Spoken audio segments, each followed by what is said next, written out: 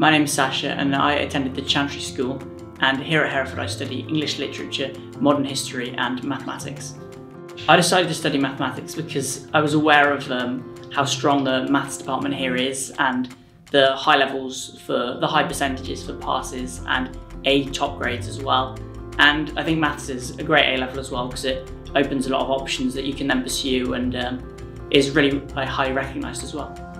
College differs from school because there's a lot more independence in the work you're doing and you've got to take responsibility for your own work to go and make sure you're putting time aside to be doing that. But I think Hereford strikes a great balance between that and giving you the independence to do that, but also the guidelines and resources to go and encourage you to do that. So I would say in my transition from maths from GCSE to A level, it was definitely a lot more difficult. I found initially, and like perhaps the more maths you're doing and things, but when you start doing it and making a habit of the work that you're doing, I think it's definitely manageable. I really enjoy about A-level maths and like best that the tutors are really approachable with anything you're struggling with and everything's always really clearly explained and there's a lot of structure to the course and the content as well. And I think while some of the subjects can be challenging at times, it's set out in a really great way to help you uh, build up your confidence and grow into it to tackle the harder parts of the course. Uh, I would say the topic I've found most interesting so far is perhaps also the topic I've found the most difficult. So integration is something I really struggled with initially because it's something that you don't um, see at GCSE level and it was completely new to me. And initially it was a bit scary at first, but I think you really get used to it over time and start with some of the basics and eventually you can, it becomes really quite rewarding when you're getting those longer questions, yeah.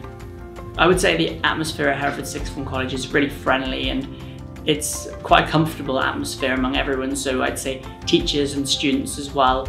Everyone's really looking out for each other and making everyone feel comfortable and included.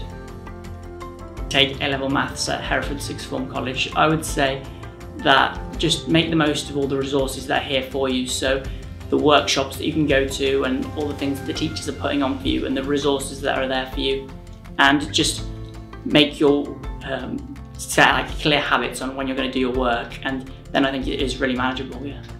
So after college I have applied to university and I've got an offer at Oxford University where I'll be studying uh, PPE, so politics, philosophy and economics, which um, will include the mathsy aspect that I've developed here.